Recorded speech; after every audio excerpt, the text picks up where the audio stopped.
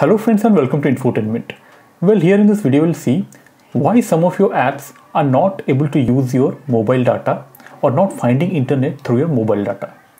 So let us see it in the mobile why it's so. One of your app is not able to use your mobile data or somehow it is not uh, able to function when your mobile data is on. So here there could be uh, two possibilities either your mobile data is not enabled or it is not able to find real network or else it can happen like there is some problem in your settings that I'm going to say you. Well, if it is network problem that your net uh, mobile is not able to get the network, can change location or change SIM. Uh, this is one part of the story. Well, in the second part, by mistake also, you could have changed some setting which is not enabling those app to use your mobile data. So we'll see how to address that. Straight away go to settings.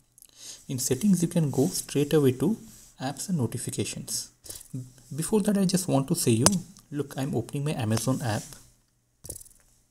Well my network is showing 4g but still my amazon is not opening uh, my home page or any other page for that matter because it's not able to use the mobile data here.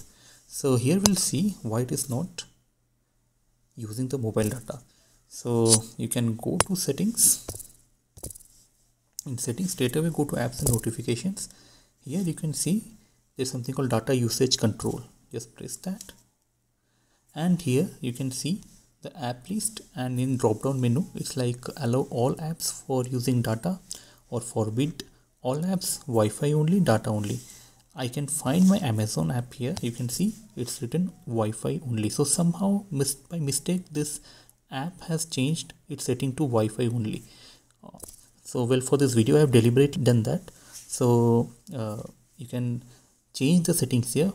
Uh, like allow everything Wi-Fi as well as data. So I will allow everything. Once I do that I'll go back. And uh, now if I open my Amazon app let's see. Look. You can see the, the app is using mobile data as well. So friends uh, as I said you there could be two possibilities. Either there is some problem in your settings or there could be network problem.